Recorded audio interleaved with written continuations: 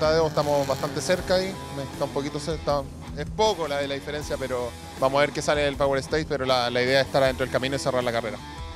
En la general estamos a solamente un segundo de diferencia, así que ahora la Power Stage vamos a ir a pelearla porque no la hemos ganado en todo el fin de semana, pero estando tan cerca de, de un triunfo, vamos a salir a buscarlo. a 10 curvas del final del, del tercer tramo de, de la mañana. Eh, en una cuerda había un palo que sobresalía hacia afuera, que o se debe haber caído o algún auto lo pasó a llevar.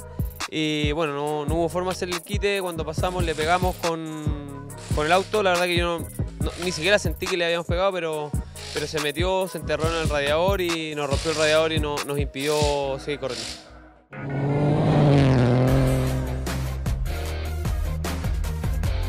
Nosotros fue un rally perfecto. No pensábamos estar en esta posición, eh, menos en el ritmo que estuvimos. Así que nada, agradecer a Dios, al equipo, a los auspiciadores, a los amigos, a la familia. Se dio un segundo lugar, que es muy bueno, estamos felices, se juntaron los puntos necesarios para la primera fecha y a seguir sumando la próxima. Nos llegó el auto esta semana, lo probamos, nos acomodamos y, y pudimos ganar por poquísimo, por un segundo, así que una locura, muy muy contento, pero queda un campeonato muy largo por delante y sin duda vamos a tratar de mejorar kilómetro a kilómetro por el objetivo que tenemos que ser campeón este año. Hice muy pocos kilómetros de, entrenamiento, entonces fui eh, tramo a tramo en el fondo conociendo el auto, eh, hartas cosas que ya sacaba en limpio para pa ir mejorando para la siguiente.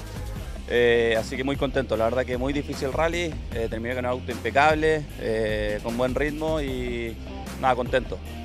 Fue muy duro el fin de semana, de alto y bajo, nos mantuvimos en la ruta, hoy día salimos a apretar un poquito más, pero el ritmo está eh, bien criminal, incluso tuvimos una pequeña salida en que pasamos mucho susto con Tomás, así que fue una pre una precavida para no dejar eh, más errores ahí en la ruta. Así que terminamos súper bien el Power Stage, pudimos lograr eh, sumar más puntos que nuestros contrincantes.